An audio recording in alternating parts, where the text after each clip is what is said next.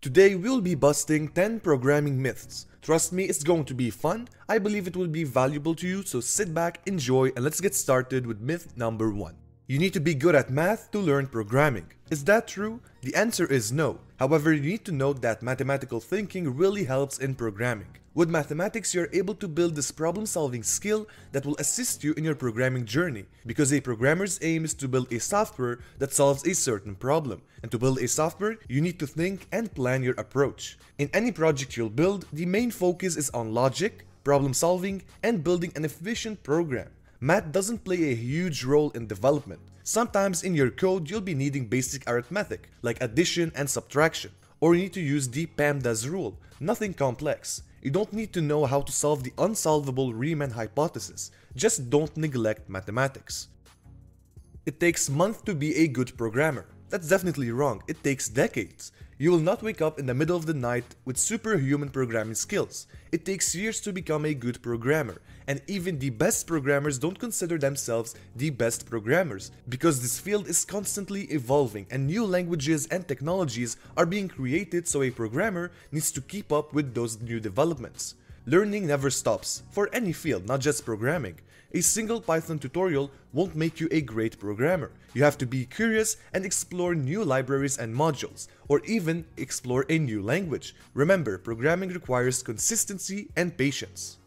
Only nerds and geniuses do programming. We all know the typical stereotype of a programmer that sits all day in front of a computer screen and code, locks themselves in their room, and has straight A's. This is a common misconception we all think about, and no, programming is for everyone. So don't worry about being the top in your class. While it is important to get good grades, it's not a major factor to consider when you want to start programming. If you are curious about learning programming, go for it, regardless of your academic background. There are tutorials out there that can help you get started, and YouTube is a great platform to learn something new. The important thing is to have the will to start and the will to continue. Because who knows, maybe you'll like programming, and eventually it will be something you'll love. You need to have a college degree to start programming. In fact, you don't need a degree to learn programming and land a high-paying tech job in tech companies.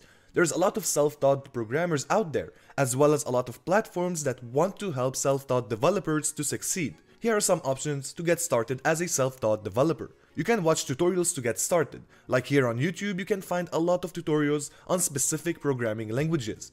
You can purchase online courses that teaches how to become, for example, a web developer from A to Z and how to ace programming interviews. Remember, you won't only learn, you need to build your own projects. These projects will be very helpful for you when you want to land a job because you will be posting them on your CV. Is college degree a waste of time? So if you have a degree in computer science or pursuing one, don't regret your decisions because college has advantages. College education can improve your skills in critical thinking and research. It allows you to work on tight deadlines like handing your assignment on time. College allows you to find networking opportunities. Who knows, maybe your computer science classmate will help you land your dream job at a big tech company or because college and universities are recognizable around the world. They have a lot of network with companies, so university can help you in finding and landing your first job. So even if you can learn how to code all by yourself, the traditional way of getting a college degree can help in different ways. But remember, as a programmer, you always need to learn and adapt to new technologies. Programmers will be replaced by AI. We hear this all the time, and that's false of course, at least for the next 10 years maybe. Basically, AI is in its early stages, and the job of a programmer isn't just writing code, and people think that programming is about coding only, and with the presence of ChatGPT or other language models, they can generate code in matter of seconds. We need to clarify that programming is not just about writing code, it involves critical thinking, analysis, and decision making. Also, there is creativity and efficiency in developing software, and AI currently lacks all of that. I believe developers can leverage AI tools to assist them in their work, not to do their work and replace them completely. Coding is programming. This is a big misconception and everyone thinks programming is same as coding. I actually did a detailed video about this so link in the description but I will give a small idea right now. Coding is the process of writing code on an IDE utilizing programming languages, just like what I'm doing in front of you right now. However, coding is a subset of programming because programming involves a lot of structured steps to follow. To build a software, you need to plan it, design it, then translate these ideas to code, then test the software, then launch and maintain that software. So programming involves a lot of thinking and decision making, while coding is the process of writing code and it is a subset of programming. Learning programming is a waste of time. It is? That depends if you're someone who's completely not interested in it, then the answer is yes.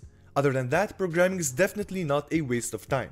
It equips individuals with skills like problem solving, critical thinking and creativity by building projects and solving real-world problems. With programming, you are able to build innovative technologies that can reshape the world to a better place, because the world is now driven by tech, and an understanding in programming can really give you a massive opportunity in landing high-paying jobs, explore new technologies, and even build your own tech.